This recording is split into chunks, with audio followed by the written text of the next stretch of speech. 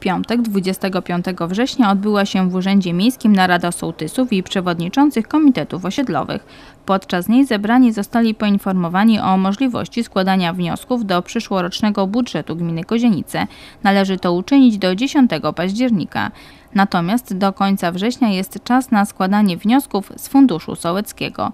Prowadzący spotkanie sekretarz urzędu Stanisław Siderski przypomniał, że źle widziane przez Regionalną Izbę Obrachunkową są wyjazdy szkoleniowe i wyjazdy integracyjne.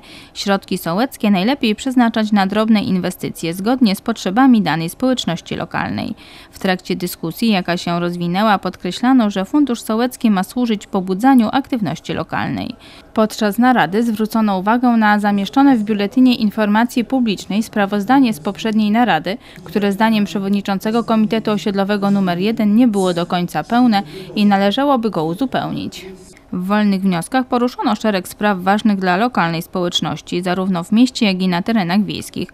Dotyczyły one m.in. rozbudowy oświetlenia ulicznego na osiedlu Skarpa, nagminnego przekraczania dozwolonej prędkości na drodze krajowej w Ryczywole, utwardzania dróg lokalnych, dokonania przeglądu chodników na terenie działania Komitetu Osiedlowego nr 1, wymiany skorodowanych śmietników. Padło także pytanie o wymianę tabliczek z numerami poszczególnych posesji. Jak podkreśliła dyrektor Wydziału Gospodarki Przestrzennej Rolnictwa i Środowiska w Urzędzie Miejskim Teresa Starzyńska, zgodnie z obecnie obowiązującymi przepisami prawa jest to zadanie właścicieli posesji.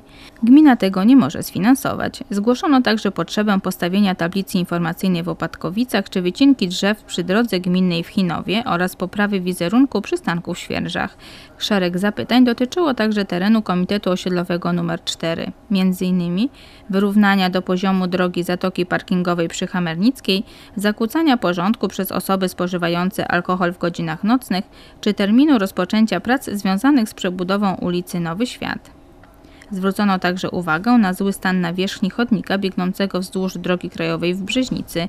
Mowa była również o uchodźcach. Wojewoda rozesłał zapytania do samorządów odnośnie możliwości ich przyjęcia. Sprawę koordynuje starostwo. Na zakończenie burmistrz Tomasz Śmietanka poinformował o planach otwarcia w październiku Centrum Kulturalno-Artystycznego.